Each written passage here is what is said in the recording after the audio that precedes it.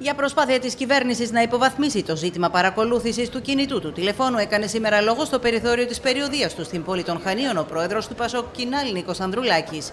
Μίλησε για δόλιε πρακτικές και υπογράμμισε ότι περιμένει από την ΕΕΠ να ξεκαθαρίσει ποιοι βρίσκονται πίσω από αυτές. Είναι ζήτημα δημοκρατίας και είναι το λιγότερο ύποπτη η στάση του Μεγάρου Μαξίμου να προσπαθεί να υποβαθμίσει αυτό το ζήτημα διαχέοντας συνεχώς από τα στελέχη της Νέας Δημοκρατίας και από τον ίδιο τον εκπρόσωπο τύπου fake news στην ελληνική, ε, στην ελληνική κοινωνία.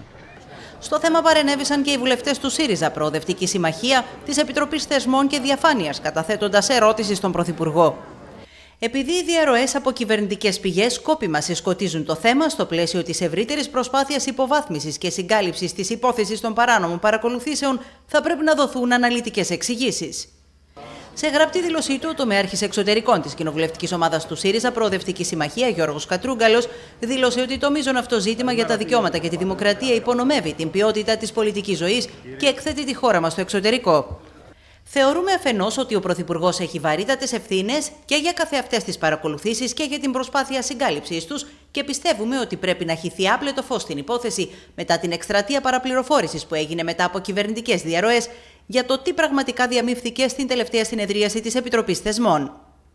Από τα Χανιά, ο πρόεδρος του Πασόκ Κινάλ, Νίκος Ανδρουλάκης, εξαπέλυσε δρυμία επίθεση στην κυβέρνηση της Νέας Δημοκρατίας για την πολιτική που ακολουθεί σε θέματα καθημερινότητας του πολίτη, για την ακρίβεια και για το εθνικό σύστημα υγείας, που όπως τόνισε καταραίει και η κυβέρνηση δεν κάνει το παραμικρό. Η κυβέρνηση του κ. Μητσοτάκη συνεχίζει να διαστρεβλώνει την πραγματικότητα. Την πραγματικότητα όμως ο ελληνικός λαός την πληρώνει καθημερινά στο κόστος ζωής, στα ενίκεια, στις ιδιωτικές δαπάνες υγείας και τώρα στα παιδιά του.